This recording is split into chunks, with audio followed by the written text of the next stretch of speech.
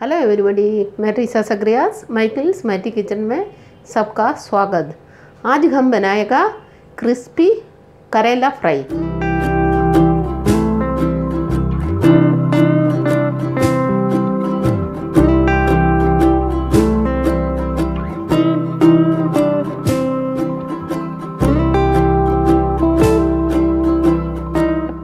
इसके लिए मैंने लिया है 300 ग्राम करेला। दो मीडियम साइज़ प्याज आठ दस ग्रीन चिल्ली थोड़ा सा करी पत्ता नमक और तेल 300 ग्राम करेले के लिए मैंने लूँगी लगभग 3 ग्राम नमक हाथ से इसको अच्छा से मिक्स करूँगी जेंटली मिक्स करना नहीं तो इसका पानी बाहर आ जाएगा फिर हमको पानी फेंकने पड़ेगा वो पानी का अंदर जो भी न्यूट्रिटिव वाली है सब चले जाएगा इसमें अगर टफ सीड्स है तो वो भी निकालना। लगभग मैंने सारा निकाला हुआ है। अगर ये सीड्स टेंडर है तो निकालने का कोई ज़रूरत नहीं है। इसी साइज़ में इसको काटना, पतला पतला काटना, नहीं तो फ्राई होने में काफ़ी टाइम लग जाएगा। बाकी ये टेंडर सीड्स निकालने का कोई ज़रूरत नहीं। अच्छा से मैं मिक्स किया। ये आठ दस मिनट के लिए मैं अभी रख दूँगी इसको। नेक्स्ट मैं एक हरी मिर्ची स्लिट करूँगी।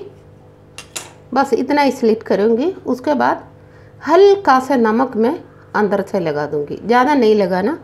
ये सब में नमक लगाने के बाद फिर हम मिलेगा। आपको नारियल, ये करेला फ्राई के साथ अच्छा लगता है तो आप लोग नारियल भी छोटा छोटा करके काट के, वो भी फ्राई करके डाल सकता है। ऐसा डालने से भी वो बहुत टेस्टी बनता है, लेकिन मेरे पास अभी नारियल नहीं है। गैस ऑन किया। ये मैंने एक आयरन का कढ़ाई रख दिया। ये कढ़ाई गर्म होने के लिए हम वेट करेगा। कढ़ाई गर्म हो गया। अभी मैं इसमें तेल डालूँगी।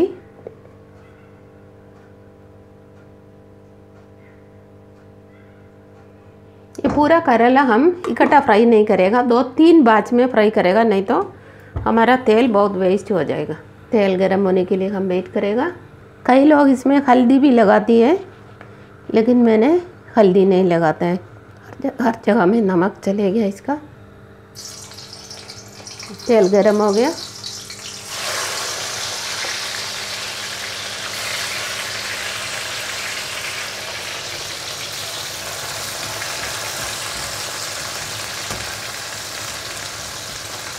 बीच बीच में इसको हमको हिलाते रहना है। गैस मैंने हाई फ्लेम में ही रखा हुआ है।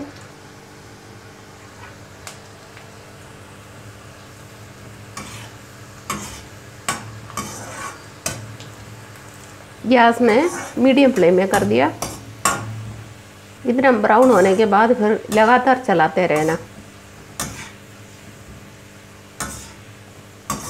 ये हो गया गैस में मीडियम फ्लेम में कर दिया। फिर मैं इसको निकालने जा रहे। जिससे भी आप निकाल रहे, जिसमें भी आप निकाल रहे, इसमें एक टिश्यू डालना, एक्सेस ऑयल अब्सॉर्व करने के लिए। अभी हम एक करेला पूरा फ्राई करने के बाद फिर मिलेगा। गैस फिर मीडियम फ्लेम में कर दिया। ये नमक लगा के रखा हुआ हरी मिर्ची डाल रहे।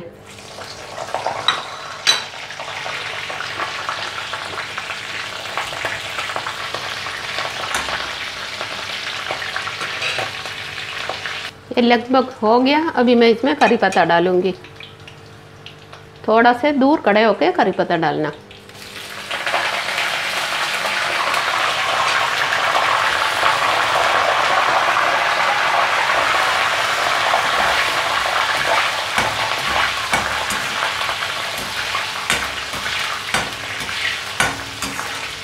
ये हरी मिर्ची आप लोग यूज़ करना नहीं चाहते तो जब करेले में नमक डालने का टाइम पर वन टीस्पून मिर्ची पाउडर लगा सकता है।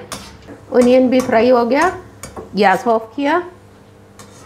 अभी मैं इसको निकालती हूँ। ये सारा अभी अच्छा से मिलाएगा।